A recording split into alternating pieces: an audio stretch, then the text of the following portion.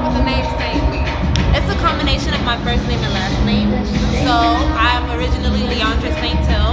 Some some people from back home they call me Lee, and then Saint is from my last name Saint Till. So I put Saint and Lee, and I thought of the actual word saintly, S A I N T L Y. So I just put it together. Okay, and I heard you're Caribbean as well. Yes, I am Haitian and Bahamian. Okay. Yes. Yes. Yes. So are you performing an original tonight or? I'm doing a